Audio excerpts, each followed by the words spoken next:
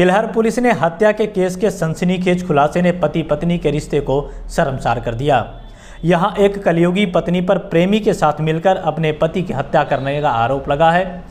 पत्नी के कहने पर प्रेमी ने गुड़गांव से आकर उसके पति की कार से कुचलकर हत्या कर दी।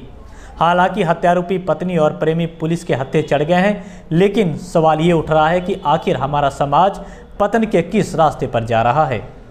हत्या के खुलासे से जुड़ी इसी बड़ी खबर के साथ शुरुआत करेंगे शाहजहांपुर के सबसे खास बुलेटिन की। नमस्कार, मैं हूँ बलजीत सिंह और आप मेरे साथ देख रहे हैं mission 24 four into seven Tilhar police ने 3 अप्रैल को हुई हत्या का सनसनीखेज खुलासा किया है। पुलिस ने आरोपी पत्नी और हत्यारे प्रेमी को गिरफ़्तार किया है। आपको बता दें कि 3 अप्रैल की रात को तिलहर क्षेत्र के राजनपुर रोड पर एक सेंट्रो कार के पहिए में फंसी एक व्यक्ति की लाश मिली थी, जिसकी शिनाख्त इलाके के गाँव रजाकपुर के रहने वाले धनपाल के रूप में हुई थी। पुलिस ने हत्याकांड का सनसनीखेज खुलासा करते हुए आरोपी पत्नी मधु और उसके प्रेमी मुकेश को गिरफ़्तार कर लिया है। बताया जा रहा है कि मधु और मुकेश के बीच में लंबे समय से प्रेम प्रसंग चल रहा था, जिसकी जानकारी मृतक धनपाल को हो गई थी। जिसके बाद मधु और उसके प्रेमी मुकेश ने धनपाल की हत्या की साजिश रची और दोनों ने गाड़ी से कुचलकर धनपाल की हत्या कर दी। फ़िलहाल पुलिस ने दोनों को गिरफ़्तार कर जेल भेज दिया है। शाहजहांपुर में कोरोना ने आज ज़बरदस्त दस्तक दी है। आज पिछले 24 घंटे में 46 नए केस ने हड़कम मचा दिया है। 11 लोगों को अस्पताल से छुट्टी दी गई है। अब तक 119 लोगों की मौत हो चुकी है। वहीं कुल सक्रिय मरीजों की संख्या एक सौ बहत्तर दर्ज की गई है। जिला प्रशासन ने ज़िले के लोगों से सतर्कता बरतने की अपील की है। शाहजहांपुर पुलिस की शराब माफियाओं के खिलाफ कार्रवाई लगातार जारी है। पिछले 24 घंटे में पुलिस ने 107 अभियुक्तों को गिरफ़्तार किया है, जिनके पास से 1232 लीटर अवैध शराब और उनतीस भट्टियाँ बरामद हुई। वहीं मौके से बरामद हुई करीब उन्नीस हज़ार लीटर लहन को पुलिस ने नष्ट करा दिया है। कार्रवाई करते हुए पुलिस ने 105 मुकदमे भी दर्ज किए हैं। पुलिस की यह कार्रवाई जनपद के सभी थाना क्षेत्रों से एक साथ की गई है। फ़िलहाल पुलिस ने सभी अभियुक्तों के खिलाफ कार्रवाई करते हुए उन्हें जेल भेज दिया है। थाना खुटार के कजरा इलाके के रहने वाले किसान हरदीप सिंह ने जिला प्रशासन पर फ़सल ना काटने देने का आरोप लगाया है। किसान का आरोप है कि कजरा में प्रेम संयुक्त सोसाइटी की लगभग 500 एकड़ ज़मीन है, जिसमें से उसके नाम 80 एकड़ ज़मीन कागजों में दर्ज है। किसान हरदीप सिंह का आरोप है कि 38 एकड़ ज़मीन पर उसने सरसों की फ़सल बोई थी, लेकिन कुछ लोगों की शिकायत पर जिला प्रशासन ने फ़सल काटने पर रोक लगा दी है। जैसे उसकी फ़सल बर्बाद हो रही है, वहीं एसडीएम का कहना है कि ज़मीन को लेकर टीम जाँच कर रही है, उसके बाद ही निर्णय लिया जाएगा। फ़िलहाल पीड़ित किसान अपनी फ़सल काटने के लिए दर दर की ठोकरें खा रहा है। ये हमारी ज़मीन सोसाइटी में ज़मीन थी। हमारे नाम पे ज़मीन है ये, तैतीस एकड़। लेकिन ये पच्चीस एकड़ या छब्बीस एकड़ होगी। हमारी यहाँ पे जंगल था, बिल्कुल ही जंगल था। उसको हमने बनाया, ज़मीन बनाई। जब ज़मीन बन गई, दूसरी पार्टी, थर्ड पार्टी, इसमें हमने दो फ़सलें ले चुके हैं। पहले धान, फिर लाही। अभी लाही खड़ी भी है। आदि। अब गन्ना बोया था। दूसरी पार्टी ने बिना मतलब के जाके आपत्ति एप्लीकेशन दे दी। एसडीएम साहब को उन्होंने बिना इंक्वायरी किए स्टे लगा दिया। भी आप गन्ना नहीं रोक रोक दिया, हमारा गन्ना भी रोक दिया। हमारा बी भी पड़ा हुआ, तीन लाख का नुकसान हो गया। हमारा बी भी खेत में वैसे ही पड़ा है और लाही भी नहीं कट रही हमारी, वो भी सब नुकसान हो रहा है। तो उन्होंने कोई तीन दिन की जाँच बैठाई। आज पंद्रह दिन हो गए कोई रिपोर्ट नहीं। थाना तिलहर के बरहा मोहब्बतपुर के रहने वाले बालिस्टर ने अपनी बेटी की दहेज के लिए हत्या करने का आरोप लगाया है। आरोपियों के खिलाफ कार्रवाई न होने पर पिता ने आज कलेक्ट्रेट में धरना प्रदर्शन किया। पिता का कहना है कि उनकी बेटी की शादी तीन साल पहले थाना बंडा के कुआँ टांडा में सेठपाल के साथ हुई थी। परिवार के लोग दहेज की मांग कर रहे थे और दहेज न देने पर उन्होंने उनकी बेटी की हत्या कर दी। आरोप है कि पुलिस ने अभी तक इस मामले में आरोपियों के खिलाफ मुकदमा दर्ज नहीं किया है। फ़िलहाल पुलिस मामले में जाँच की बात कर रही है। कांड के भुड़िया गाँव में संदिग्ध परिस्थितियों में आग लग गई। आग लगने से करीब आधा दर्जन किसानों की कई बीघा गेहूँ की फ़सल जलकर राख हो गई। जिसके बाद ग्रामीणों ने बामुश्किल आग पर काबू पाया। फ़िलहाल आग लगने के कारणों का अभी पता नहीं चल सका है। चौक कोतवाली क्षेत्र की रहने वाली महिला ने बेटी के साथ गैंगरेप के आरोपियों की तत्काल गिरफ्तारी की मांग की है। महिला का आरोप है कि मुकदमा वापस लेने के आरोपी पीड़ित परिवार को धमका रहे हैं।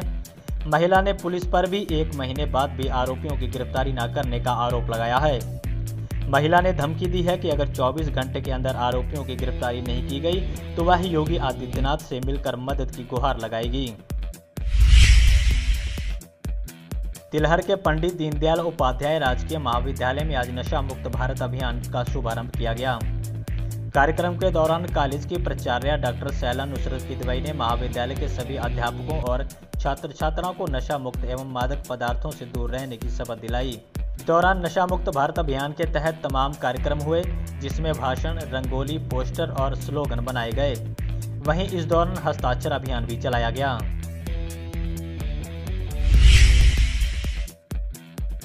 पंचायती चुनाव को कुशल पूर्वक संपन्न कराने के लिए आज गांधी भवन में पीठासीन अधिकारियों के साथ खास गोष्ठी की गई।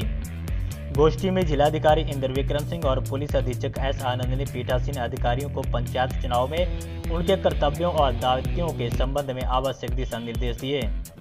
कार्यक्रम में पुलिस प्रशासन सहित तमाम अधिकारी मौजूद रहे।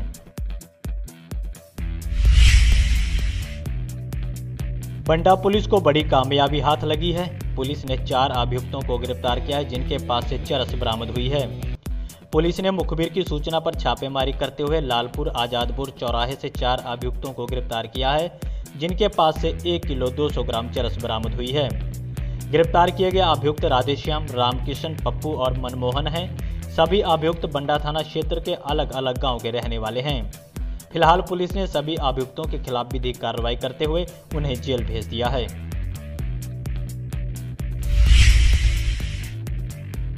भाजपा के इकतालीसवें स्थापना दिवस के अवसर पर आज प्रधानमंत्री नरेंद्र मोदी ने वर्चुअल सभा कर भाजपा कार्यकर्ताओं को संबोधित किया।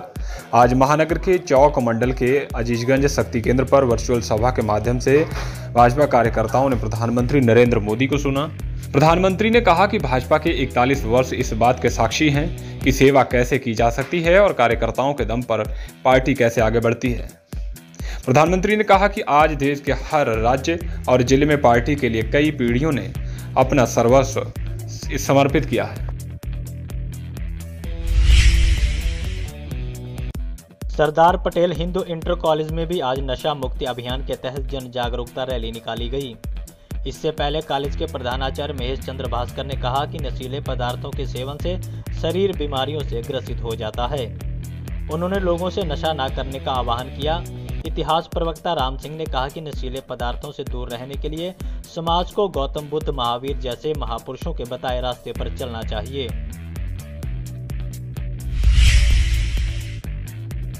पिछले दिनों छत्तीसगढ़ के बीजापुर में नक्सलियों के हमले में शहीद हुए 22 जवानों को एक खास ढंग से श्रद्धांजलि दी गई। शहर के बिजलीपुरा के रहने वाले समाजसेवी कुमार सागर ने अपने शरीर पर पाँच दीप जलाकर शहीदों को श्रद्धांजलि अर्पित की। इस दौरान उन्होंने कहा कि शहीद हुए जवानों पर कायरों की तरह पीछे से हमला किया गया।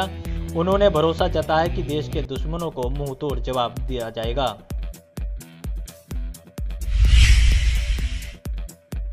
थाना परौर क्षेत्र के गाँव पकड़िया में एक महिला ने फांसी लगाकर आत्महत्या कर ली। बताया जा रहा है कि 40 वर्षीय महिला संध्या ने आर्थिक तंगी को लेकर देर रात फांसी लगा ली। परिवार वालों का कहना है कि खराब पड़ी बलेरो गाड़ी ठीक कराने में काफ़ी पैसे खर्च हो गए थे। जिसके कारण परिवार में आर्थिक तंगी आ गई। महिला की मौत के बाद पति ध्यानपाल और परिवार वालों का रो रो कर बुरा हाल है। फ़िलहाल पुलिस ने शव को कब्जे में लेकर पोस्टमार्टम के लिए भेज दिया है और आगे की कार्रवाई शुरू कर दी है।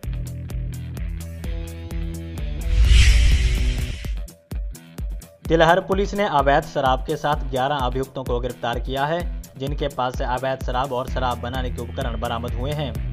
पुलिस ने तिलहर थाना क्षेत्र के अलग अलग गाँव में छापेमारी करते हुए 11 अभियुक्तों को गिरफ़्तार किया है, जिनके पास से 100 लीटर अवैध शराब बरामद हुई है। साथ ही मौके से बरामद हुई 800 लीटर लहन को पुलिस ने नष्ट कराया है। फ़िलहाल पुलिस ने सभी अभियुक्तों के खिलाफ आबकारी अधिनियम के तहत कार्रवाई की है। सिंधौली जिला पंचायत सदस्य तृतीय सीट से प्रत्याशी सुरेंद्र पाल ने अपने समर्थकों के साथ लोगों से वोट करने की अपील की। आज सुरेंद्र पाल ने इलाके के गाँव दिलावरपुर, ईटारोड़ा, गोरा रायपुर, इंद्रखू और मरौरी में जनसंपर्क कर लोगों से वोट करने की अपील की। इस दौरान सुरेंद्र पाल के साथ उनके समर्थक भी मौजूद रहे। पुआया में आज राष्ट्रीय संयुक्त अधिवक्ता मंच के जिला अध्यक्ष अरुण सक्सेना ने स्थानीय कार्यालय पर संगठन सक्रियता अभियान चलाया। इस दौरान आगरा से यहाँ पहुँचे मुख्य अतिथि हेमेंद्र पाठक एडवोकेट और संगठन के आगरा मंडल अध्यक्ष जगदीश नारायण शर्मा का स्वागत किया गया। इस दौरान जिलाध्यक्ष अरुण सक्सेना ने कहा कि ना कोई धर्म, ना कोई जाति, सबसे पहले हम अधिवक्ता हैं और हम अधिवक्ता हितों के लिए हमेशा तत्पर रहेंगे।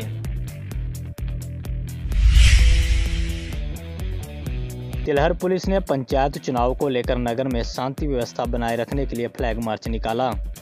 इस दौरान शराब के ठेके और संदिग्ध व्यक्तियों की चेकिंग भी की गई और लोगों से नगर में शांति व्यवस्था बनाए रखने की अपील की गई।